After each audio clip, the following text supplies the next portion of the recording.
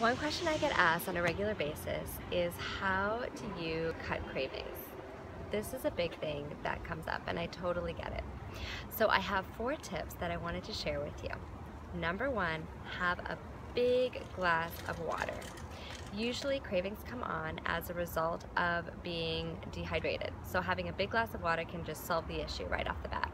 Um, second tip, along the same vein, is have a cup of tea. Big cup of herbal tea, especially things like peppermint or some of the fruit teas, make sure they have no sugar in them. Um, there's something about them that just satiates you and gives you that little bit of something sweet without actually having to turn to sugar. Um, third is get moving. So whether it's yoga, um, go to the gym, go for a run, go for a walk, moving just a lot of the times will get your mind off of off of that food. And fourth um, tip that I have is something um, that I've been doing for a while and it really works for me.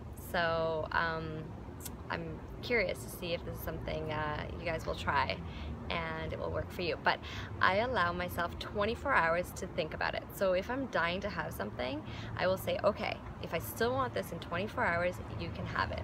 Now, nine times out of 10, I forget about it or I don't want it in 24 hours and I don't end up having that treat. Um, and if I still really, really want it in 24 hours, then I allow myself to have it. So um, those are my top four tips. I'm curious to see what you think or if you have your own. Um, so comment below and uh, yeah, let me know um, if you have tried these before or if you have some of your own that you'd like to share.